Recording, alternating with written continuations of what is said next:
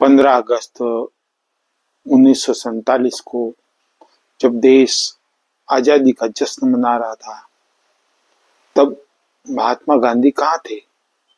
यह प्रश्न इसलिए नहीं उठाया जाता है कि इसके अंदर कोई ऐसा एंगल नहीं है जिससे कि राजनीतिक रूप से लाभ उठाया जा सके। वास्तविकता यह है कि यह एक ऐसा एंगल है जो सेक्युलर भारत को दिखाता है। 15 अगस्त उन्नीस को पंडित जवाहरलाल नेहरू झंडारोहण कर रहे थे। ब्रिटिश झंडा उतारा जा रहा था और भारत का झंडा तिरंगा चढ़ाया जा रहा था।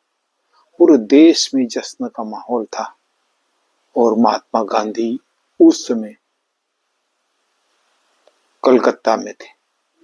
वे नुआखली जाने के लिए, जहाँ हिंदुओं का कत्ले आम हो रहा था नुआखली वर्तमान में बांग्लादेश में उसे रोकने के लिए वे जा रहे थे, तब कोलकाता में उन्हें रोका गया। जिस व्यक्ति ने जिन्ना के कहने पर डायरेक्ट एक्शन प्लान किया था, सोहरावर्ती, उससे गांधी जी ने बात करी। और दोनों कलकत्ता के बेलिया घाट क्षेत्र में हैदर भवन के अंदर ठहरे। तीन कमरों के इस भवन में सफ़ाई की गई और गांधी जी वहाँ रहे। वहाँ उन्होंने उपवास किया, शांति के लिए प्रार्थनाएँ की। पंद्रह अगस्त की सुबह वे दो बजे उठ गए।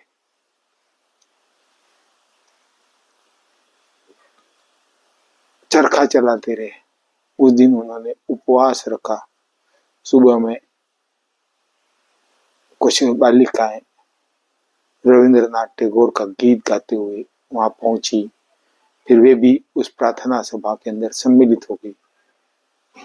उसी दिन गांधी जी ने अपने एक अंग्रेज़ दोस्त को पत्र लिखा, जिसके अंदर भी यह कहा कि, किस बात का मैं जश्न मनाऊं? दूसरे लोग मनाए तो मनाए। मैं किस बात का जश्न मनाऊं?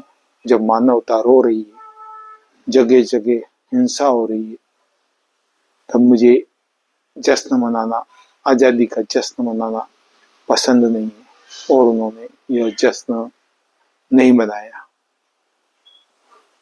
तो हमारे राष्ट्रपिता महात्मा गांधी ने,